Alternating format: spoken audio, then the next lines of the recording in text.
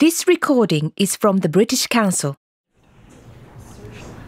In today's lecture, we are going to be talking about experiments, and I thought it might be interesting for you all to learn about the world's oldest continuously running laboratory experiment that is still going today.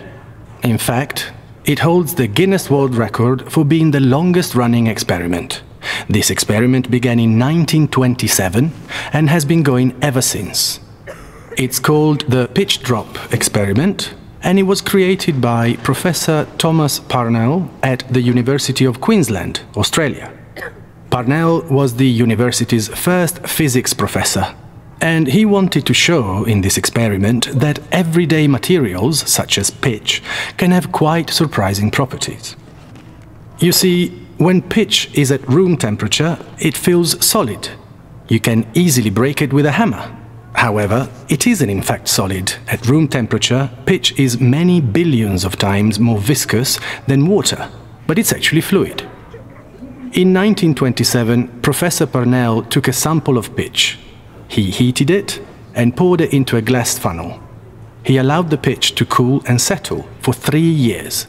He then turned the funnel upside down and cut the top off it. Since then, the pitch has slowly dropped out of the funnel. How slowly? Well, the first drop took eight years to fall. It took another 40 years for another five drops to fall. Today, it's been almost 90 years since the experiment started. Only nine drops have fallen from the funnel. The last drop fell in April 2014, and the next one is expected to fall in the 2020s. The experiment has a tragic story associated with it. Professor Parnell died without seeing a pitch drop. His replacement, Professor John Mainstone, became responsible for the pitch drop experiment from 1961.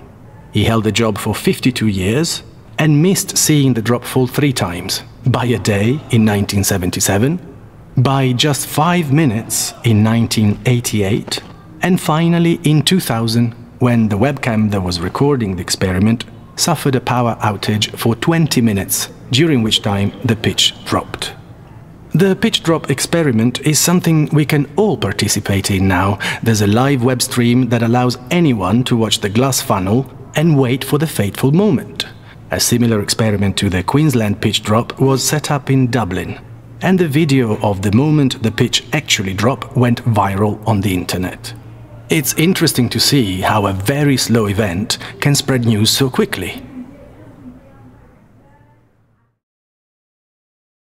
This recording is from the British Council.